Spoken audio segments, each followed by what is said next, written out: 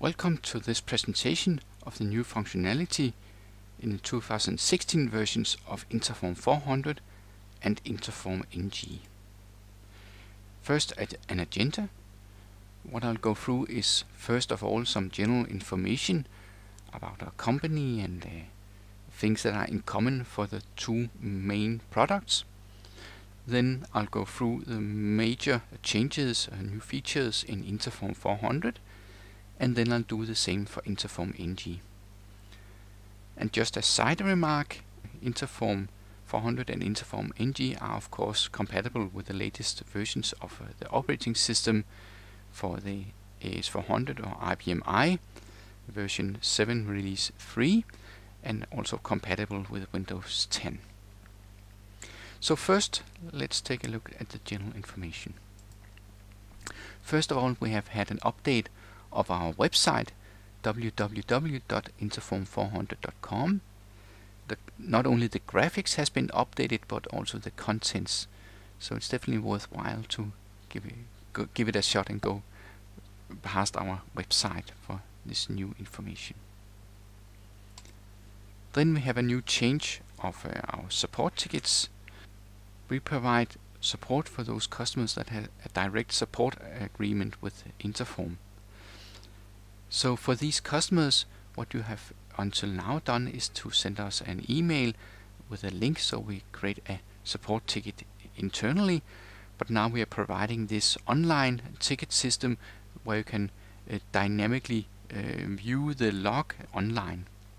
The advantage with this is that uh, internally by, by Interform, uh, we, it's easier for us to to uh, view the, the, the, progress of uh, support cases and also to share uh, various support cases between persons. And for you as a customer, it's also quite easy as you don't need any ID and, and password to, to remember. So let me just illustrate how it can be done. So from our website, you can select for customers and then submit a ticket. And when you do that, just need to type in some relevant information about uh, your license, description of the problem. You can also attach files uh, to the report ticket and then click create a ticket.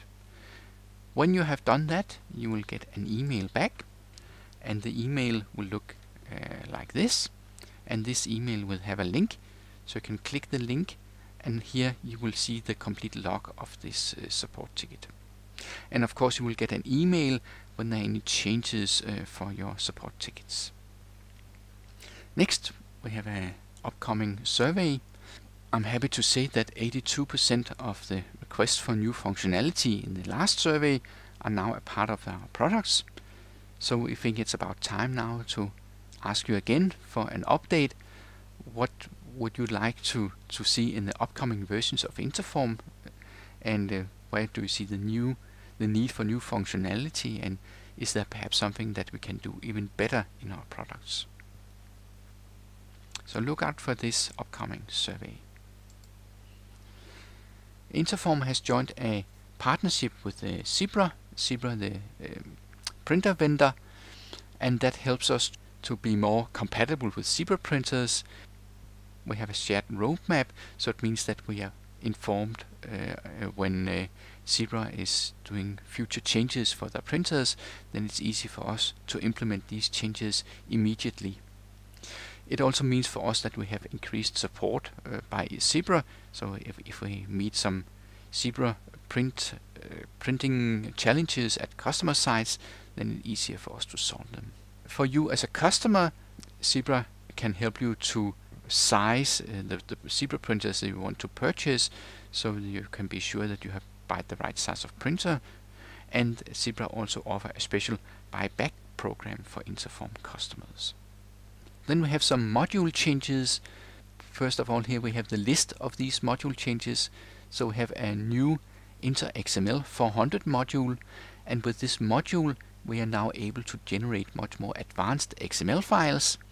So if you set it up correctly you can uh, create XML files that are compliant with various uh, invoice standards, for instance the German ZUGFeRD, Norwegian EHF, OIO XML, UBL XML, and so on. Another module change is that we are now introducing advanced PDF, and this module is actually a merge between the previous embed PDF and PDF security modules. We have a new MoveX connector module which enables MoveX customers to generate spool files so that you can use newer uh, MoveX versions that are not able to generate spool files with Interform 400. And then we have a, a rename, a relabel of the module InterXML, which we are now labeling spool to XML 400, which is actually more precise in uh, to describe what this product actually does. But let me just go through each of these modules so you can see the, the complete details. So first of all, the new InterXML 400 module. With the previous versions of Interform, you also get a, an XML generator, but this is able to generate much more advanced XML. If you're going with the ZUGFeRD uh, output, the ZUGFeRD um, XML files are actually embedded into a special PDF file, and these PDF files can easily be compiled with normal PDF uh, creation through command or through the, the menus, and also for normal emailing.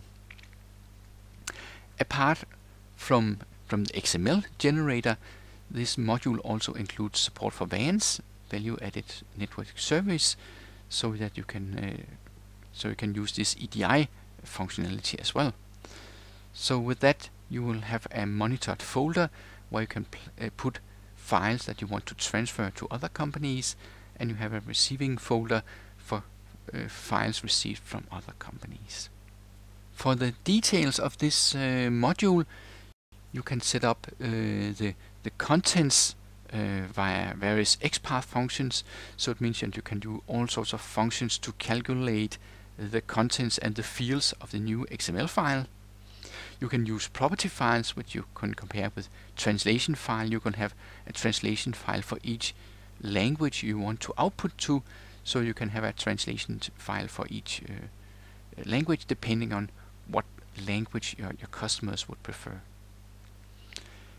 You can have rules to include a subtree in your output XML file depending on a specific uh, detail line in your input spool file. When you're done with uh, the creation of your XML file, you can also choose to validate the output XML to ensure that it's compatible with various standards. So with that, you can refer to an XSD, which will simply reply if it's compliant or not. You can also run it through an XSLT transform and that will create a new uh, XML file which you can uh, validate with an XPath test. There's a special validation for EHF uh, XML files and that's also included in the product. When you generate your, your output XML file, the calculations can have cross-references.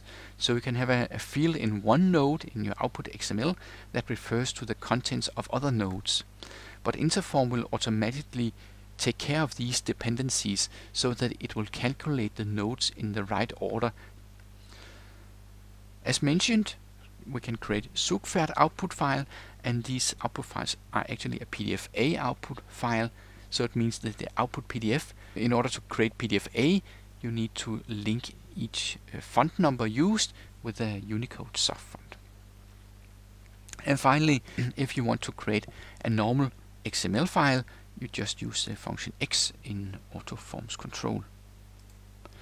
Uh, before I'll show you this, let me just uh, present how it's actually implemented. So when we go into Interform, we have here in AutoForms control, we have the finishing definitions, and inside of that we have like a an XML definition here and that is of type 09 and here you can for instance set up the complete structure of your XML file you can import an existing XML and import it here so you can uh, retrieve the complete structure and then update the various fields and then when you are done with this you can set up the validation that's set up here. So here you have an example of how we can validate this output XML file. The request to generate these special invoice XML files are often a request from one of your customers. So it could be that what you want to uh, to create with Interform is not just a single XML invoice type, but actually different types depending on the, the country of your customer. So if you have a customer in in uh, no, northern countries, Scandinavian countries, they might want to have an OIO or UBL XML or EHF for, Norway, PA in Italy, ZUGFeRD in Germany, and so on. And there might even be customers that don't want a, an, a, an XML file, but just a normal printed output or a PDF file. And for those, you can take your original invoice spool file, split it up depending on what kind of invoice type you want to generate, and then you can choose to distribute your output XML file through, for instance, VANS or email or print. Moving on to the next module, that is the merge between Embed PDF and PDF security. So Embed PDF has the ability to embed files into an output file and PDF security has the ability to add a digital signature so you can create a PDF file as a legal document and it can also be used to encrypt and password protect PDF files. So let me just show you a few examples of that. So for embedding I have two favorite examples here. One is that you want to include uh, pictures of something that you have specially adapted to a customer's uh, request. So you might want to send uh, a picture embedded in your, your PDF file and these are actually hidden inside of the, the PDF. So when you click the link you open the, these attachments. So for that it gives you better uh, customer service that you can be more precise in in confirming an order, for instance. It can also be uh, if you want to send out uh, reminders for outstanding payments, then it's easier to, to include the outstanding invoices directly in the request for, for payments. So you can include those and simply click the link in the reminder to open this, these uh, invoices directly. So with this feature you can save uh, some money instead of manually going out and, and finding your, your invoices and attaching them and writing the letter each time, you can uh, you can do it automatically in this way. So that was a bit about the embed. Then for the PDF security, we have two main uh, uses. One is to have a, um, a PDF file that is password protected and that is used by some banks that uh, send out statements in an email so to ensure that only the, the, correct receiver will be able to read the contents, they have encrypted and password protected those. When you open the PDF file with the correct uh, password, you can also restrict the usage. So for instance, in this case, I have restricted the usage so it's not possible to print it out. Another use of PDF security is to add a digital signature. So with this signature, you have like a, a legal document so it's possible to prove who actually signed this document and it's possible to prove that no one have altered this document after it has been signed. So all of this functionality is now included in the advanced PDF module.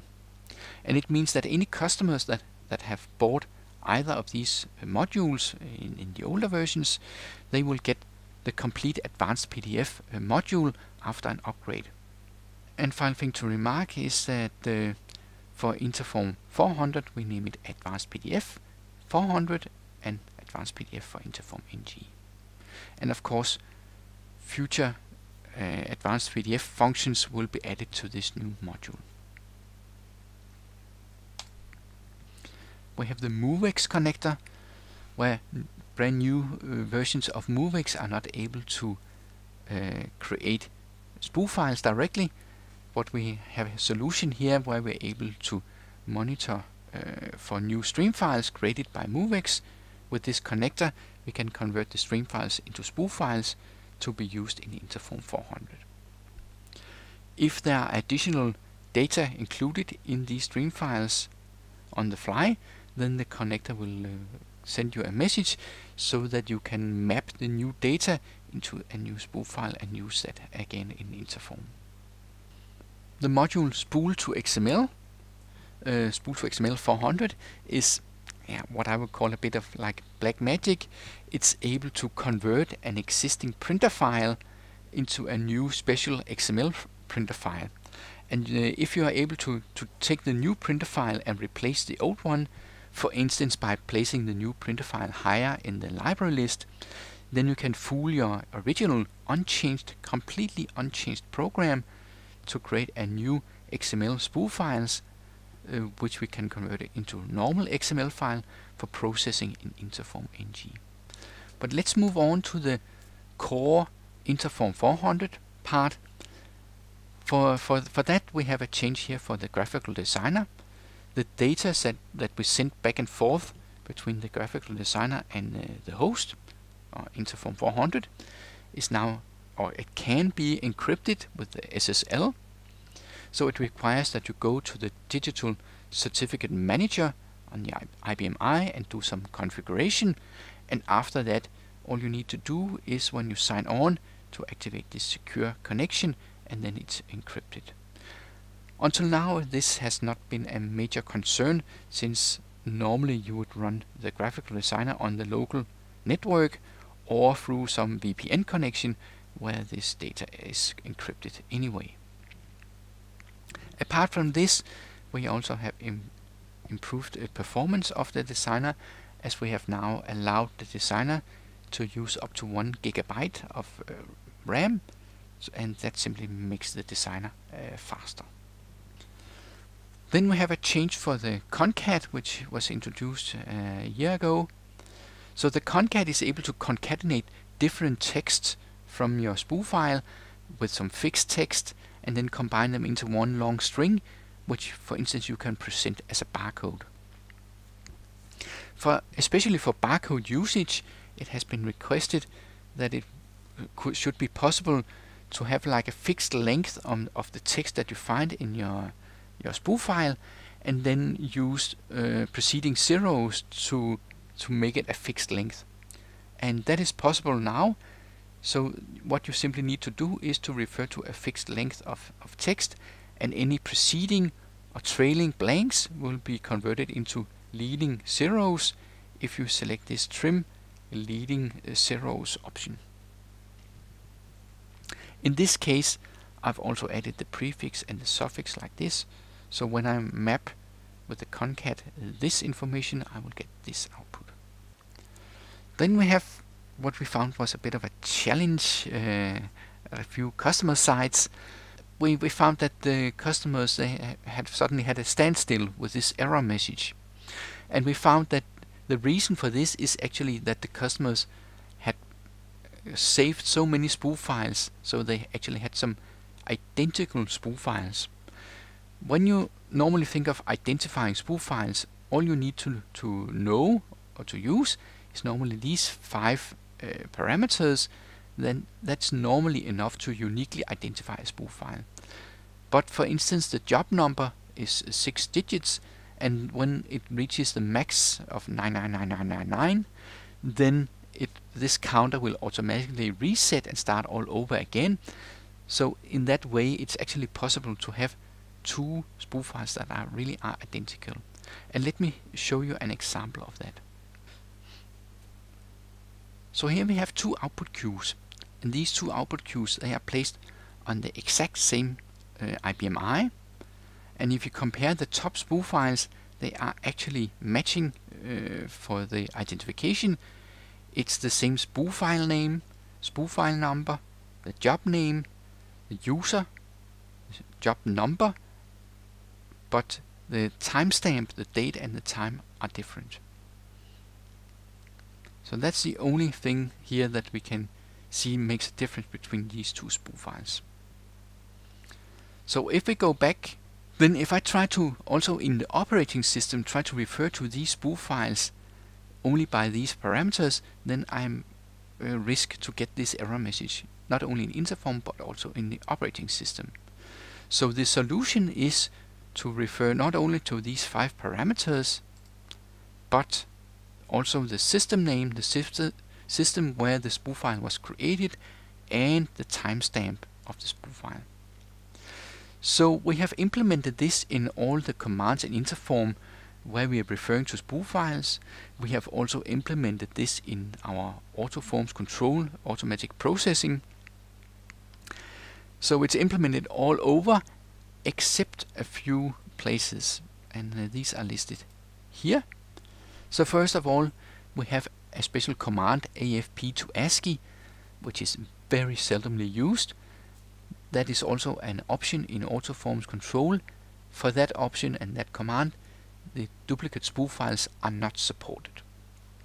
We have an option G in Autoforms control where you can uh, archive a spool file in multi-archive that also only supports uh, unique spool files and um, the option 8 in Autoforms control like below where we can call a program with the old format only supported these five parameters, but now we have added a new format 2 via which you will get the full identification of the spool file so you can uh, process even duplicate spool files.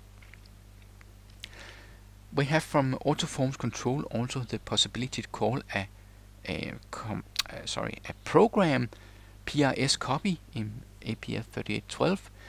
This works very much like uh, copy management that creates multiple copies of each spool files and um, this is very seldomly used and I, I would actually recommend to use uh, normal copy management if possible but if you still want to use it you can use also here a parameter format 2 to support duplicate spool files.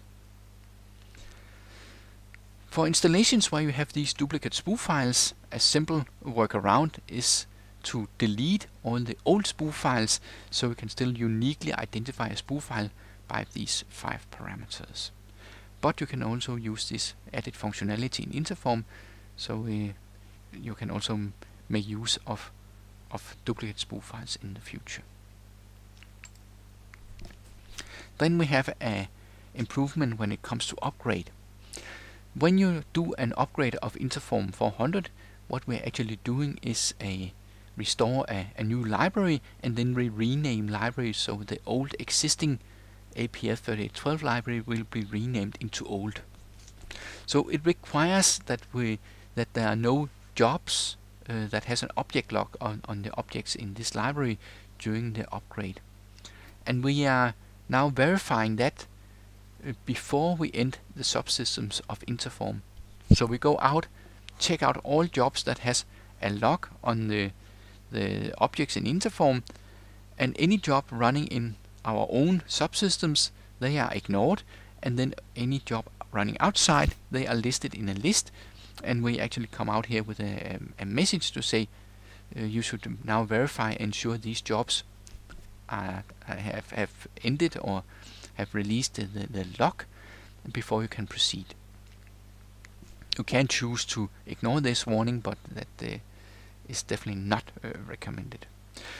So in this way you can ensure that the the window where your applications is, is down, where where the the subsystems of Interform is down, that is a slimmer window, and you can also be sure or, or much sure that the upgrade runs without any problems as soon as you hit uh, that you confirm to to go ahead with the upgrade. Then it really uh, you have a successful upgrade. Another addition, uh, we introduced uh, last year the possibility to hold uh, emails, so that is uh, a very good idea. If you want to test something for, for emailing, you can create the full emails. You can go in the our um, email log. You can open the email and look at the contents, verify everything, uh, the attachment, and the receivers, and so on. And if you're happy with the email, you can go in in the mail log and choose option 1 send and then you can just confirm these, these are okay and send them or with this new feature you can say for delete so you can delete those emails. Option 4 delete is only allowed for the emails that are held and, and never have never been sent. If you also want to to delete the sent emails you should use the clear mail log uh, command of Interform, which is of course a very good idea to run on a on a regular basis. Then we have some other enhancements for for emailing. We can now refer to a, a group for the blind carbon copy uh, when when you send out an email through our email finishing definition. It's possible to add X-header information in your in your outgoing email, so we can use this to identify that that email. And we have now the possibility to refer to the spool file owner when you want to send out an email with the email finish definition. But this requires uh, that your user profile are registered in the system directory and also the name and the email address of these users. Let me just show you uh, these uh, facilities. So if we go out, back into Interform, we have here the possibility to send to an, an owner. So here for the owner, we can now say for, and that's it. And then you need to have set up your, your users in the system directory. For the uh, for the receiver, sorry for the yeah, blind carbon copies. When when you select the, sender, you do it like this. Select option 8, and here in the bottom you can send a blind carbon copy. Not only to to whoever uh, send it, but you can choose now to send it to an email group which has been defined in Interform. And finally, we have the X header option. So here for the X headers, you can choose option 15 with some description of the X headers, and you can use variables or constants to identify this email. And this is actually included in the outgoing email. So let me show you here. So inside of the, the outgoing email, you have this hidden information. So it's possible to see that or retrieve that with the program. But if you look at the real email, then it's not visible for the receiver. So you can use these X header information. For instance, if you send a, a blind carbon copy to one of your own email addresses and uh, pick it up and use it for archiving, then you can perhaps use the X header information for, for indexing. You can also use the X header information if an outgoing email will bounce, bounce back, and then you get the email back. Then you can also look at the, these X header information. What we have found is that if the receiver replies to your email, then this X header information is unfortunately not included in the reply back. So let's move on to Interform NG. So Interform NG is an alternative to Interform 400. The two products does more or less the same. Where Interform 400 takes spool files as input, Interform NG mainly takes XML files, but these XML files can, for instance, be converted from a normal spool file with the spool to XML module. There can also be various text formats that we are converted into XML. Apart from that, the XML-based data, we can also refer to uh, databases via an SQL statement to include additional information in our final output. For the installations, you might think of Interform NG to be mainly uh, installed on Windows, but it's also possible to install it uh, on the AS400 or IBM-i, whatever we call this platform, and it runs 100% natively uh, on the uh, AS400s as well. And we ha also have customers running uh, Interform NG on Linux.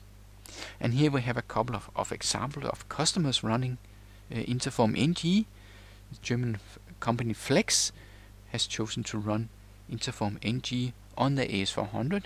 They had uh, free choice between Interform 400 and Interform NG, but chose that.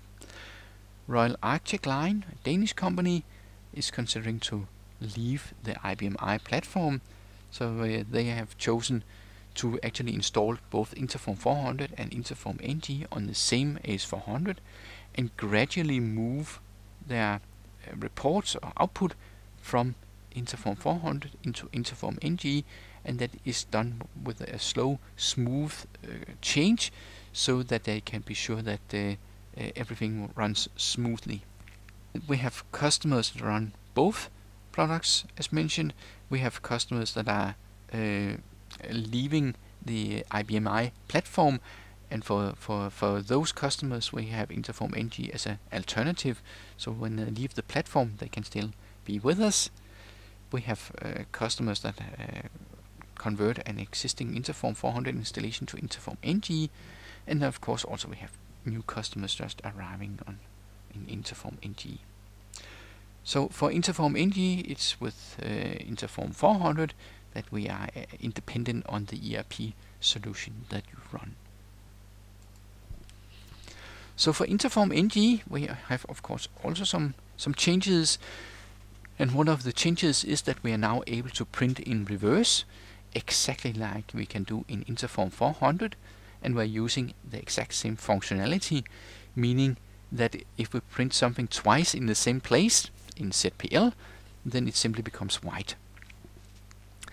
If you want the same kind of output in all your outputs no matter if you create a PDF or PCL or ZPL then uh, you can define your, your layout like this that you activate filling in your box, create a box, change the, the pen with which you're writing into white, and then you print the white text. For the command prefixes in the ZPL data stream, these uh, prefixes they are actually configurable on your printers, so of course they are also configurable here in our product. Then we have some changes when it comes to uh, to the actual printer data stream that we are generating.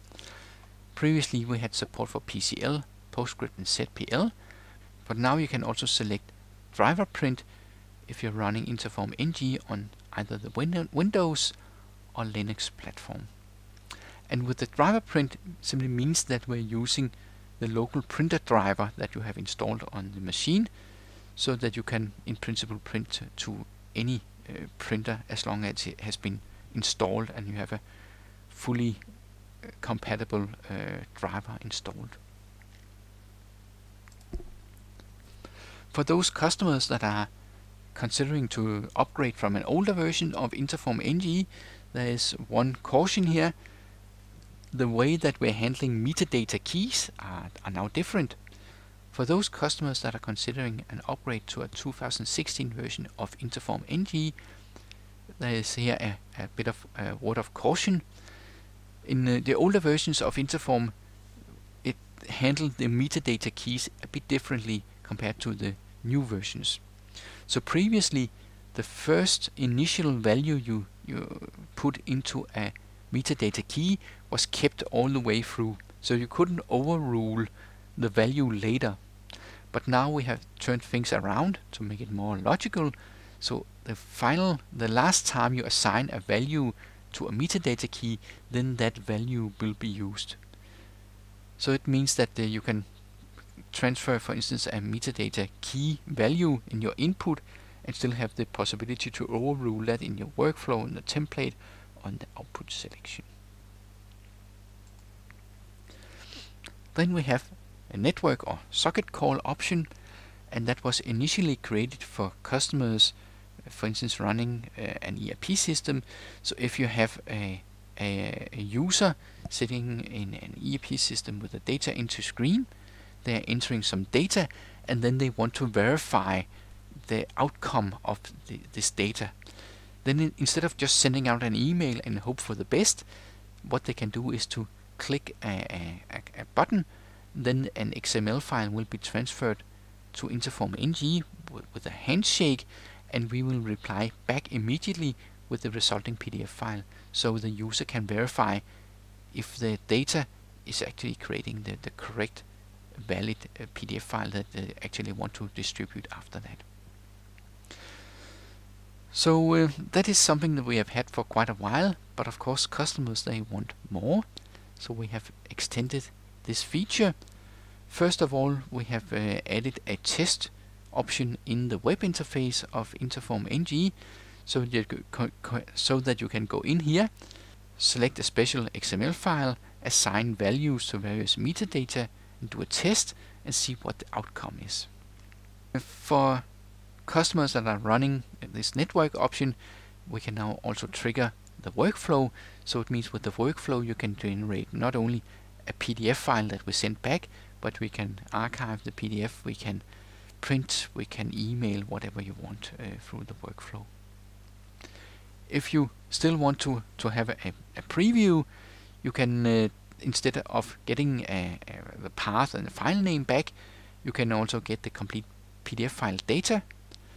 And uh, if you go with the path and the file name, we can also choose to assign a name to that file so we can give it a more naming, uh, a better name that actually refers to the contents so it could be invoice underscore and you can even include the, the name of, uh, sorry, the, the invoice number in the, the PDF file. And finally, if we go with workflow, you might want still want a simple PDF file back. And for, for, for that scenario it's possible to use the, the value preview for, for the metadata called media type. Then we have some uh, uh, nice new features for the designer. And especially there's a, a new option here to dynamically include images. So it can help you to include images of your, your product directly from uh, from an area where you have for instance a, a container of all images uh, of all your products this image can also be retrieved from the, the web if you have internet access so let me just here show you exactly how we have done that. So here in uh, in Interform NG we have a an image and this image actually refers not to an image we have imported earlier because then we would need to select the image here but instead we have this new feature where we can refer to the URL to the image here. So the URL here in this case is referring to a local file, but as I mentioned it could be a file on the web as well. And in this case I have a 4-digit number here and that 40 digit number is actually retrieved from my XML file.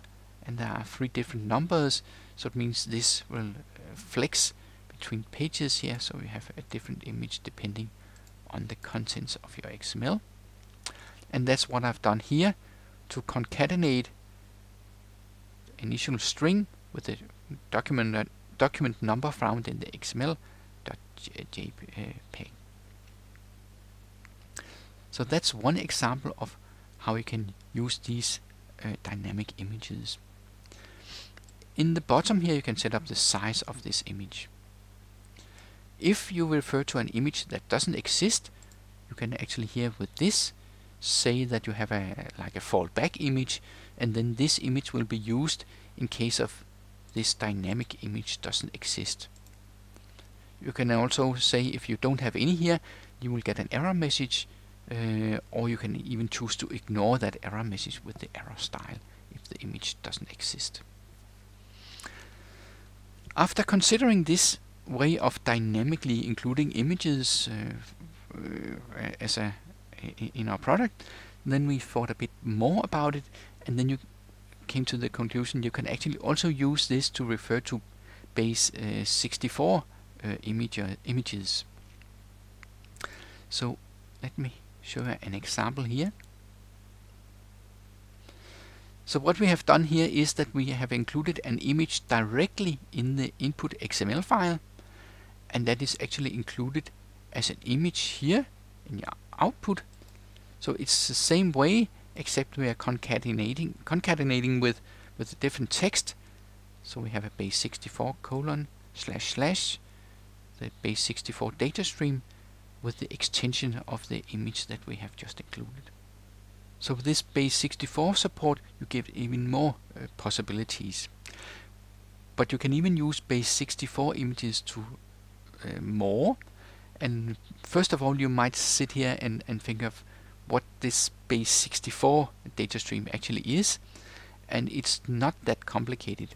What you can do is that you can convert your, your various images into a base64 data stream, which is just a long uh, string of text. And you can do that uh, via various online tools. And here is one example where you can upload your image, say convert, and then you have your, your base64 data stream. And that base64 data stream can be used as I showed you in the XML, but you can also use it in an HTML file. Here we have one HTML and here the HTML is like a, local image.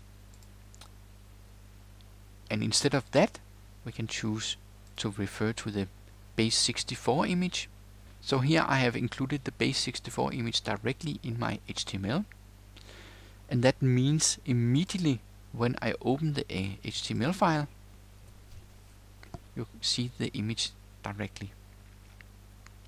So these HTML files can be used for, for emailing, so you have the, the email contents written in a HTML file, so you can have a dynamic, nice looking uh, email here with embedded images. Also in Interform NG, exactly as you can with the Interform 400. There are other improvements to the graphical designer there are a possibility now to have a, a dynamic uh, secondary XML file. We can run multiple designers. You can even open a sub-template and I'll show you in a second. You can edit the included XML file and also the images even. And uh, there's an improved uh, search in the designer. And let me show you here. So for the input, we can choose to add additional files. So we have a normally, you, you, probably only have a primary XML file, but you can choose not only to have a, a secondary uh, named XML file with a fixed path, but you can also create an XPath expression to build up the complete path of the, the other XML files that you want to include. So it means that you can combine two completely different XML files. So you have a, a primary XML file that has triggered the merge, and that uh, information from that XML file can, for instance, be used to build up the name and the path of the other XML file that contains additional information, which is a completely different document perhaps. And with this reference, you can merge the two XML files, and here in the, the output, include data from both of the input XML files, or not only two, but but uh, multiple XML files, of course. Then you have the ability to run multiple uh, designers, and I have actually an example here. So in this case, I have a reference to another template where this included text comes from, and I want to edit this text, and, and I cannot do it directly here because it's of course placed in a different template. But what I can do is I can choose to open the other template with this. Now I can click my text, say whatever text I want to add, and click save, and then it can take up to 5 seconds, and then you have the updated output here. If you're editing a sub sub template, uh, something that is not directly referenced, you might need to type this, uh, click this refresh uh, icon to make a, a new refreshment of, of all the, the, references done here. So the same edit and refresh is possible for your input XML files and also for your images. Finally, we have an addition here for the search, so you can type in a search criteria and you immediately can jump through the places where this text is found. So it makes it much easier to find the exact node in your XML file so you can use that for, for including that node, uh, that information in your output. Then we have an addition to the workflow, actually for the output selection. What we can do here is that we can go into the web interface. And normally you set up your configuration through the workflow and template selection where you can set up a lot of conditions to uniquely select whatever XML file you want to, to work with, then assign it to a special design, and choose what kind of output you want if you want to select this or that printer. But that is how you would normally do and then uh, we have an extra layer here for the workflow output configuration. So with the output configuration you can overrule whatever you uh, stated earlier. So for instance if you have a lot of references here in your, your configuration to a specific printer which we name here old printer and if we imagine this old printer is now broken down so we need to overrule any uh, selection of that printer to another one then we can have a, a condition here in our output configuration to say whatever printer uh, you selected, if you selected old printer before, then we want to overrule it and use this printer instead. So that's actually old functionality. The new functionality is this new continue option to say that normally you, we can execute only one rule and as soon as one rule is selected then you can do only that.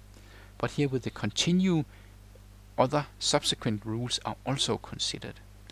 So with this continue option we can do much more advanced conditioning to say for instance if the file name is this then we want to select this special printer but still give the ability to overrule that decision down here to say if yeah but that's okay but anyway no matter what we selected here if the directory where the XML file was uh, found is test, then we definitely want to select our test print instead.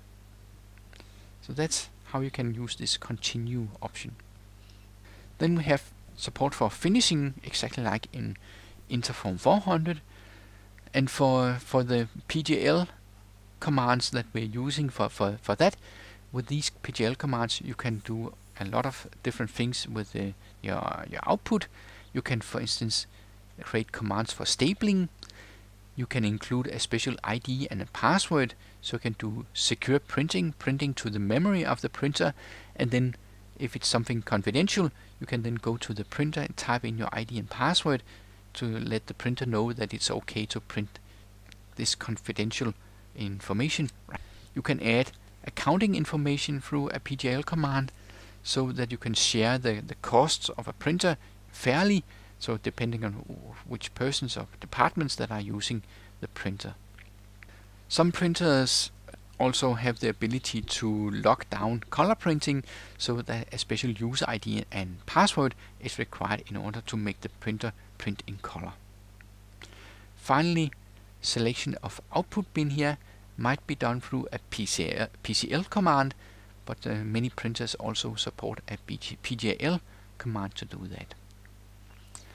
Finally, it's not really PJL related, but we can also do OMR, means optical mark recognition. These are lines or barcodes printed in the margin of the papers uh, to help these huge inserter machines to put your, your printed output into envelopes. And that is something that we can configure uh, with the advanced functionality in the XPath language of Interform NG we have a new logger for Interform NG, which will uh, increase the, the, speed with which you can find uh, uh, the log of of what have have been handled and was there any problems, so you can identify, you can confirm whatever went okay, and you can also find any problem areas quite easily. So that's actually it. The German manual at this current time is not available yet for Interform 400. It is very close to being there. Uh, for those that saw this presentation, you were asked to do a, a review. There will be links to this uh, presentation uh, on YouTube. Remember to look out for the upcoming survey and of course feel free to contact uh, me or my colleagues at, at Interform uh, if you want a proof of concept of any of the new modules or, or, or of, of any other of the new functionality. Thank you and bye.